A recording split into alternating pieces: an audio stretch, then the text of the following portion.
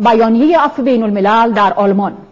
عفو بین الملل خواهان آزادی فوری 36 ساکن اشرف است که توسط نیروهای امنیتی عراق بازداشت شدند. احکام دادگاه دستور آزادی 36 ساکن کمپ اشرف را صادر کرده و اتهام سکونت غیرقانونی در عراق توسط قاضی تحقیق رد شده است.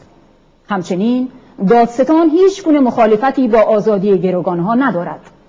با وجود رأی قاضی و درخواستهای وکلای این افراد مقامات بدون هیچ دلیلی از آزادی دستگیر شدگان خودداری می کند.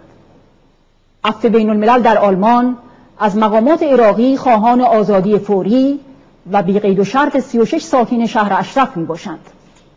عفو بین الملل بر موضع خود مبنی بر مخالفت با هر گونه بازگرداندن اجباری ایرانیان از جمله این 36 تن یا سایر ساکنان کمپ اشرف به ایران جایی که با خطر شکنجه و اعدام روبرو خواهند شد تأکید می‌کنم.